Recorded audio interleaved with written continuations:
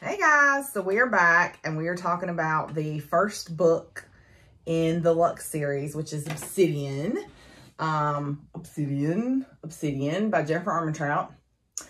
So, I told you last time for Shadows, which is the prequel to Lux, um, that this is my favorite series. Uh, Daemon is one of my book boyfriends, and I love him madly, truly, deeply. so obviously since it's Jennifer Armentrout and it's my favorite series, it's five stars uh, right off the bat. There is, I will tell you, there's no smut. There's plenty of steam and plenty of sexual tension, but there's no smut. Uh, like I said, five stars. The main characters are Katie and Daemon.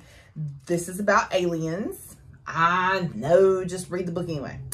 They are, there are good aliens, bad aliens. So the good aliens are the Lux. The bad aliens are the Arum. So Katie is a senior in high school. She moves to West Virginia with her mom and meets the kids next door, which is Daemon, who's a class A douche of the highest order, um, who's also incredibly smoking hot. and then his sister, Dee, who is I wrote she's cotton candy because Dee is just light and effervescent and beautiful and she's just a wonderful person. He tries to scare her off because of what happened with Bethany and Dawson. Uh, she and Dee become friends anyway. she and Daemon become frenemies. Uh, there's like a lot, like I said, there's a lot of sexual tension between them. Some things happen uh, Katie ends up with a trace on her and she has to hang out with Damon because he has to keep her safe because she has a trace on her to keep Dee safe from the Arum. Uh, there are run-ins with the Arum where Daemon saves Katie and Katie saves Daemon. Uh, and there are sparks between the two of them. A lot of sparks. There's a big to-do at the end, a battle and some other things. And there is actually this very beautiful, real moment between Kat and Daemon. And then the next day the spell is broken. because it's Daemon. and he can't help himself, I think, sometimes. So Daemon and Katie like become connected because of what happens. And Daemon thinks they should be together and Katie thinks they should not. And Daemon says he loves the challenge and Katie flips him off. And that's that's that's the review. That's the review. So the recap obviously will have more details, and that is now. That is the spoilers if you haven't read it. It's an amazing series. If you haven't read it, read it. Okay, spoilers time. So Catherine, aka Kat, aka Katie, aka Kitten, as the case may be, because Daemon likes to call her Kitten because he says um, she's like a little kitten that's pissed off with its hair standing up on it. She has light brown hair and gray eyes. Daemon is over six feet tall and has black hair and green eyes, dark hair and green eyes. So Kat grew up in Florida and her dad died three years ago from cancer. So her mom decided she wanted a new start and moves them to West Virginia, right next door to some aliens. Yeah. Katie's mom is a nurse uh, who works in the local hospital. And I think she works at the other hospital. I don't know. She, she works a lot. And uh, it's the summer before school starts. Katie's mom is like trying to get her to go next door and make friends with the kids next door. Katie decides to take her mom's advice and ask them for directions to the grocery store. Because this is pre, this book was written pre-GPS. And if you don't remember those times, then God bless you because you used to have to have a road atlas and maps for every city you went to and it was a pain in the butt. so she goes next door to ask for directions. Uh, a completely hot guy answers the door with no shirt on and poor Katie is like speechless because Katie is like a nerdy book girl. She writes a book blog and Daemon is being a complete asshat and Katie gives him snark right back. Good for you, girl. He finally gives her directions and she's like, thank you. And then under her breath mutters douchebag. and he starts laughing and says, well, now that's not very ladylike, kitty cat. And she whips around like, don't ever call me that again. He's all, what's better than calling somebody a douchebag? And she's like, you're right. That's too good a word for you. You're a dickhead. and I'm just kidding. I love the snark between these two. Like, it is very, if you loved From Blood and Ash, you will love Lux just because the snark between Katie and Daemon is, it's the best thing ever. So anyway, while she's at the grocery store buying groceries, she runs into Dee, the sister, and Dee, you know, introduces herself and apologizes for Daemon. And when they get to the parking lot and Dee leaves, Katie looks up and there's like a freaking man in black watching her. Like the MIBs are all over this little BFE town in West Virginia. So, um, it's pretty creepy. Dee comes over that afternoon and they kind of talk and Kat's like, you know, I kind of want to go to uh, a plant shop and get some plants and work on this flower bed out front. And Dee's like, hey, I'll help you. And so they go to the hardware store and when they come back, they're like working, you know, digging up the old stuff and scraping out the mulch and all that good stuff, which if you have never worked in the yard, it is hard work. And I think this must be based off of Jen because Jen loves to do outdoor stuff. Like she posts stuff all the time. And I'm like, God bless you. Because every time I pull up in my driveway, I'm like. It's not anything that I enjoy doing. God bless you if you do. It's not my thing. so anyway, when they take a break, Daemon actually gets the rest of the stuff out of the car and puts it up for them. So while they're working, Daemon comes out of the house with no shirt on on the phone. And this is a, a, a quote from the book, but it's not anything Katie says. It's just something she thinks. Uh, she says, beautiful face, beautiful body, horrible attitude. It was the holy trinity of hot boys. and I actually have a glass that says that from the JLA shop. Uh, so he then proceeds to open his mouth and ruin it all and be a jerk because he's a sassy dark-haired boy. And Dee has to apologize again. The next day, Katie is washing her car but can't reach the roof. And Daemon comes over to help. And you're thinking, oh, okay, maybe he's not a complete and total monster. And then he tells her that he thinks he's supposed to apologize. And she's like, you, you think? And he's like, yeah, Dee left town and hid my keys and told me I can't have them back until I make nice with you. So I'm going to take you swimming tomorrow. And Kat's like, well, I think you can kiss your keys goodbye, bud, because I don't want to be nowhere around you because you're a jerk face. And um, he stretches out on her porch steps and is like, I'll just camp out here until you agree to go. And she's like, well, enjoy your night on the steps because I'm not going. And as soon as she goes to go in the house, her mom comes out and it's like, oh, what's going on? And Daemon's like, oh, I was going to see if Katie wanted to go swimming tomorrow. And she's like, oh, Katie's not doing anything. And basically like hands her daughter over on a silver platter.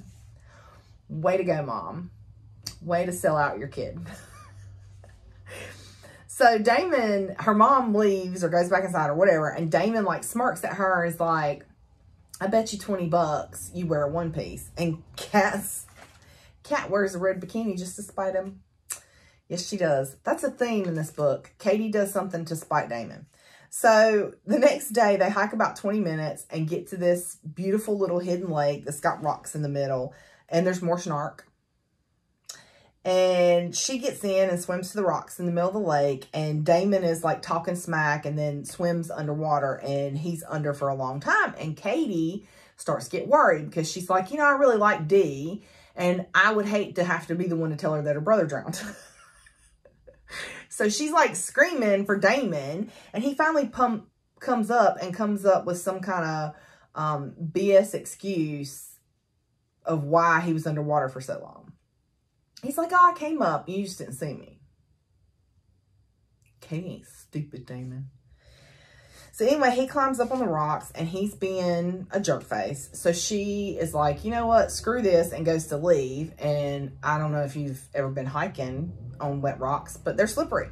And Katie slips on the rocks and almost falls and Daemon has to like catch her. And then they kind of have this like moment and you're like, ooh, that's more sexual tension.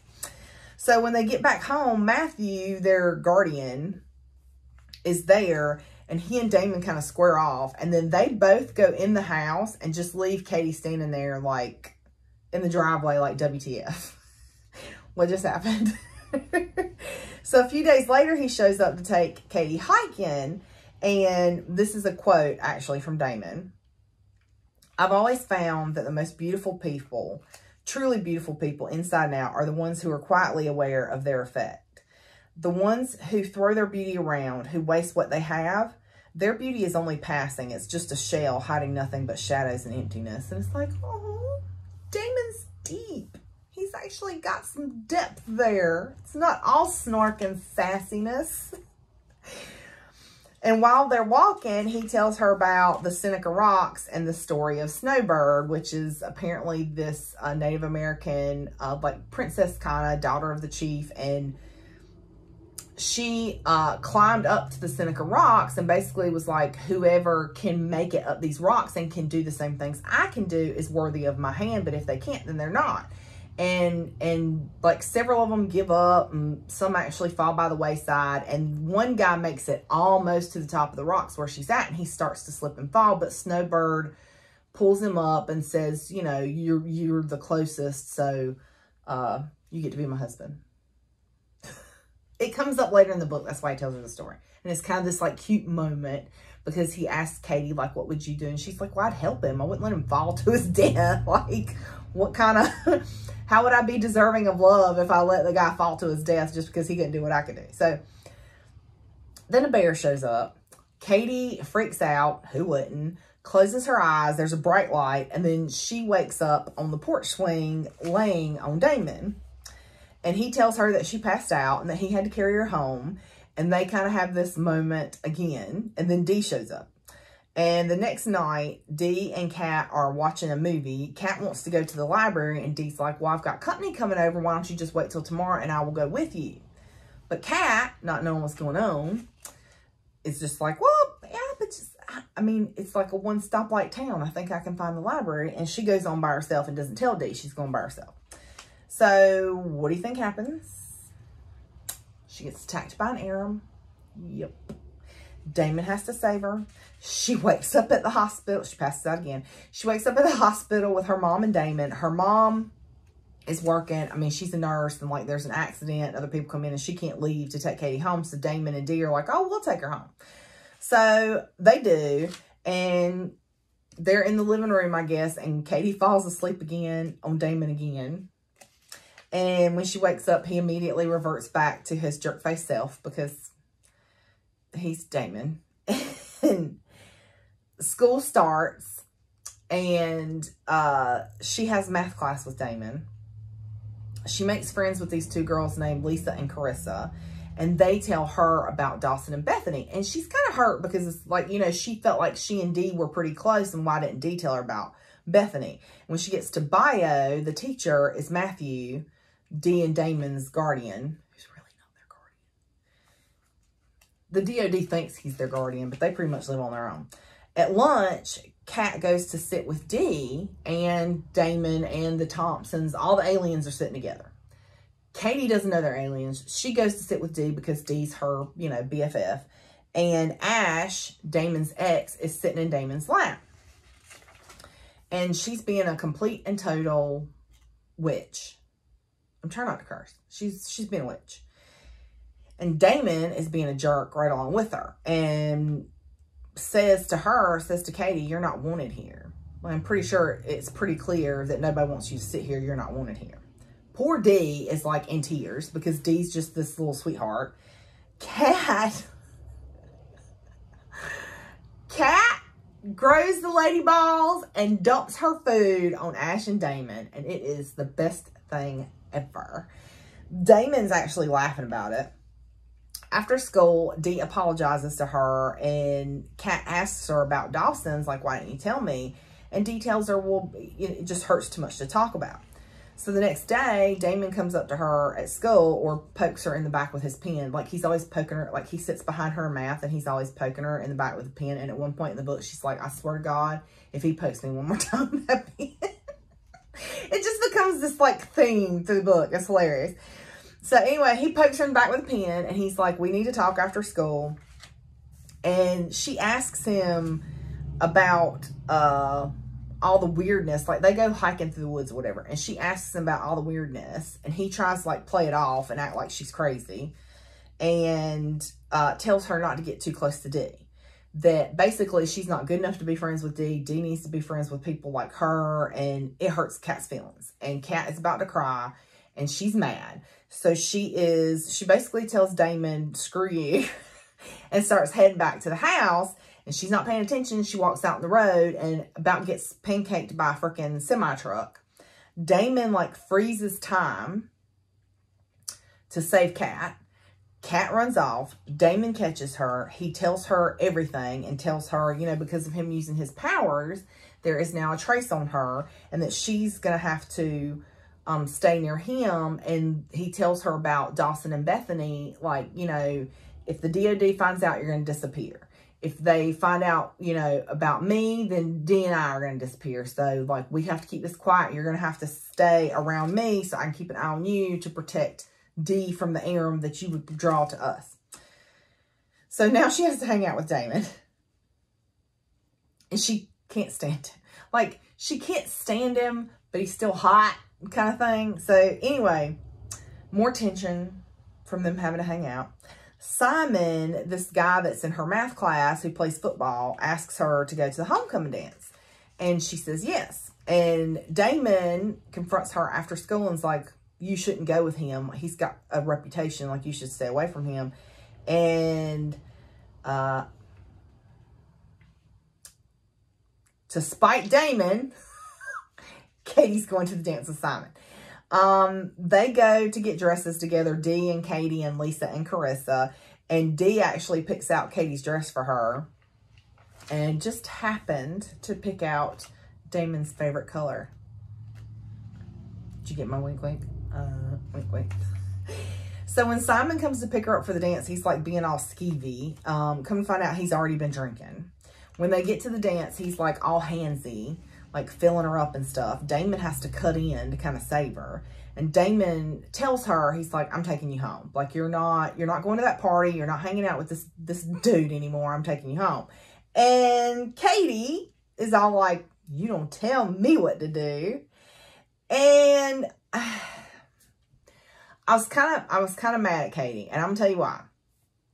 I get it, right? 17 year old Kim would have been the same way. I would have been like, you don't tell me what to do. If I want to go with Simon to the field party, I'm going to go with Simon to the field party. You don't tell me what to do. But as an adult, I look and go, you're putting yourself at risk to be raped, beaten, gang raped, who knows what, just to spite Daemon because of the way he told you you shouldn't go to the party with Simon. Like, really? You, like the old saying, you cut off your nose to spite your face. You know what I'm saying? So anyway, but I get it because 17-year-old me would have done the same thing. So Simon cuts back in and she goes with him to the field party to spite Daemon. There's a thing. See, there's a thing. And at the field party, if you don't know what a field party is, so in the country, somebody who lives on a farm once the field is cleared, we'll use that field to have field parties. And it is literally a bunch of people sitting around a bonfire drinking. There may be a cabin. There may be trucks a rocking. There may be uh, all kinds of things going on out in the field. There's even, I think there's even a country song about it. I don't remember who sings it. But anyway, it's it's a thing that people do. So they're in this field party. Simon is like basically trying to accost her. Like he's trying to make out with her. He's filling her up. She's not into it. And he just keeps right on. And she tells him to stop and tries to get away. Daemon saves her. He freezes. He grabs Simon and freezes him. Katie kicks him in the balls while he's froze. And no means no. And Daemon when he unfreezes him, Daemon's like, don't you ever even look at her or I will kill you. so he puts his jacket on Katie and goes to take her home.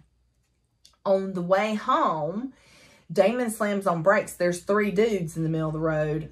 Three Arum. Yeah. So Daemon gives her his obsidian blade and he's like, when I tell you to run, you run. And he gets out and starts fighting the Arum and he kills one like right off the bat and then he's like circling the other two and he's throwing light at them and they're throwing globs of oil at him and they're fighting. But Daemon is starting to get wore out because he's fighting two guys. And uh they grab him. They start draining him. He screams. And when he does yeah I was freaking out because it's just like oh and this is a reread. I have read this book before, but it was so long ago that I don't remember everything. And I'm just like, not my baby. so when he screams, something in Katie is like, no. And Katie, instead of running the other way, goes running for the Arum and stabs one of them and kills him. When she does, the other one runs off. And she goes to Daemon and she's like, oh my God, are you okay? And they actually hug and you're like, are they turning the corner? They're going to be nice to each other. So Daemon's like, you're staying with us tonight, you know, because you got a trace on you. Dee is with the Thompsons because he told her stay with the Thompsons because they can keep her safe. And because they don't know if the other guy's going to follow them back to the house. So they get back to the house and Daemon puts Katie in the um, spare bedroom or whatever. And she's like, will you stay with me? Because she's still like shaking up, shaking up. And he's like, yeah, I'll stay with you. And they when he gets in the bed, they're both kind of laying there like this, like, and it's really awkward. And Katie even says, this is really awkward. And he's like, yeah, it is. And they laugh and kind of have a moment and they start talking. And Katie starts with the, well, what if he shows up? What if this happens? What if that happens? And, you know, I've told you before, them what ifs will make you crazy. You can't do that to yourself. you cannot because it doesn't end. There's no end to the what ifs. So don't even start down that road. If you catch yourself doing it, like stop your brain and go like, no, we're not doing this and redirect. So Daemon kind of soothes her and's like, you know, Kat, it's okay. I'm not going to let anything happen to you. When she wakes up, she's laying on Daemon again. And uh, she, she, I guess moves or something. And when she does, he shifts and he's on top of her and he's like nuzzling her neck and speaking in his native language. And she gasps. And when she does, she wakes him up and he leaves, acts like he's mad at her and leaves. So when she goes downstairs, like there's this whole freaking alien meeting going on with Matthew, Daemon, Dee, and the Thompsons and they're all like mad at Katie, like it's somehow Katie's fault. And uh, they like, they want to turn her over to the DOD. And Daemon has to tell them how she saved him, how she killed the Arum to get them to back off of the turn her over to the DOD idea. And he actually has to threaten Andrew, which, I mean, Andrew's been a jerk since Shadows, since the prequel. So are we surprised? I mean, we're not really surprised. So Adam, Dee's boyfriend, comes up with the idea of getting Katie to exert energy to get rid of her trace. So Kat goes in the kitchen while they're all discussing her to get some water. And Ash comes in and corners her and is basically like, you know, Daemon's going to get killed trying to protect you. And Kat, I think that kind of like sits in here with Kat. And Kat sneaks home because she's over the alien meeting already. And she goes to sleep on the couch. When she wakes up, Daemon's at the door and her mom's gone. And he wants to work off the trace, but it's raining. Sorry, I had the thing. he wants to work off the trace, but it's raining. She's like, Daemon, it's raining. Like, you know, let's just, let's worry about this tomorrow. Like, I don't feel like dealing with this today. And he gives her an obsidian blade, and tells her, you know, to keep it on her. And he's like, why don't you just run around the house or do some jumping jacks or something? And she, like, gives him the stink eye. And he's like, we could, you know, bow, chicka. And she's like, no, not if you were the last male thing on the planet. And he's like, oh, you're, don't even start, you're attracted to me. And they start snarking. And in the middle of the snarking, Daemon kisses her. And then they start making out. And I mean, it is hot. It is hot, y'all. And like literally because they start blowing up stuff in the house. Like they melt Katie's laptop and all the lights blow and like they're making out, his shirt comes off, her shirt comes off, and then he just stops and looks at her and goes, see, you're barely glowing now. Gets up, gets his shirt, and leaves. Yeah. Yeah, dick move. Yeah. yeah. So, Kat is mad, understandably so, and she avoids Daemon and Dee, um, which is not Dee's fault. And she kind of realizes that, like, she realizes that. She has this moment, like, you know, it's not fair for me to avoid Dee because her brother's a jerk. It's not her fault.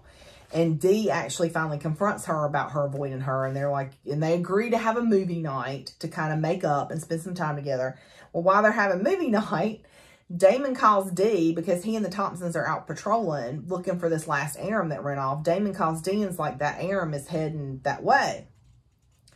So Kat thinks about what Ash said and she's like, I don't want to be the reason something happens to Dee and Dee will get hurt trying to protect me from the Arum. So she tells Dee, she's like, light me up, get me glowing, and I will lead the Arum away. I'll lead him to where the field party was. Daemon can meet me there and take care of the Arum. And Dee doesn't want to do it, but Kat's like, Dee, it's the only way. You know, otherwise he's going to know where you live. He's going to know where I live. So Dee lights her up. She leaves and heads for where the field party was. Daemon calls her on her phone because I guess Dee's called Daemon. Daemon calls her, is fussing her out. And while they're on the phone, Barrick Baruch, uh, however you say his name, it's B-A-R-R-U-K, U-C-K, shows up and uh, grabs Katie out of the car and Katie tries to stab him. He grabs her arm and breaks it. And then he kicks her and breaks her ribs. And then he starts feeding on her, draining her. And Katie's a human, so she's not going to last long.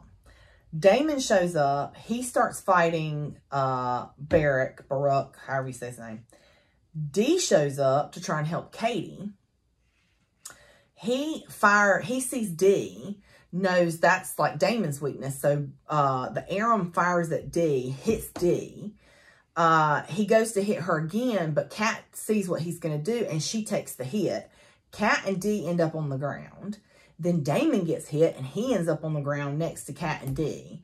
And he grabs Kat's hand and is going to use, basically he's going to try and use the last of the energy that he has left in his life like he's dying to heal Katie. But Katie knows that she's beyond saving. Like she knows like something bad is broken inside of her. And like, so she's like, no. And she grabs Dee's hand and like is just like willing them to like fight and live. And all of a sudden, this light like arcs from Daemon to Dee. And then it hits Katie in the chest and Katie like looks at the Arum and like it just puts everything she has into it and lights him up. And he's just like obliterated, like he explodes. and but Kat is still on the ground and she's dying from her injuries. So Daemon tells Dee to go get Adam and Dee doesn't want to go, but he like convinces her to go. So as soon as Dee leaves, he does what Dawson did with Bethany and he like puts his forehead to Kat's forehead and like pours his light into her uh, to the point that they can hear each other's thoughts. And then they actually kiss. And I know they kissed earlier, but that don't count. This one counts because this is like an actual real tender with emotions kiss. And the other one was Daemon being a douche. So it didn't count. So the it, the next day or whatever, Daemon is gone, or next few days or whatever, we don't know. Daemon is gone. He and the Thompsons have been out kind of combing the area to make sure there's no more air. When he comes back, he says something smart ass, of course, because it's Daemon and he's a smart ass. And Katie kind of like smacks his chest.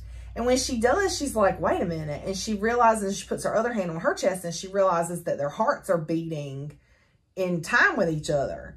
And she's like, our hearts are beating the same. And Daemon's like, huh. And now Daemon has the bright idea that now that they're connected, that they should be together. And Kat is like, no, I want somebody to be with me because they love me, not because we've got some weird alien connection. so she's like, no, and goes to leave. And Daemon's like, Kat, I hope you know I love a challenge. And Kat flips him off and says, so do I, Daemon. So do I. and that's where the book ends. with snark, as it should. The book ends with snark, as it should. So, that is Obsidian. That is the first Lux book. Uh, I love this series. Like I said, it's my favorite series. I it used to be a tie between Lux, A Court of Thorns and Roses, and Mortal Instruments. But now, I have to say that it's a tie between A Court Thorns and Roses and Lux. Because rereading this, I have just fell in love with it all over again. And uh, I really want to go to West Virginia now. okay, so we'll see you guys next time for what will be, I think, Onyx is the next book. So we will continue on in the Lux series. See you guys later. Bye.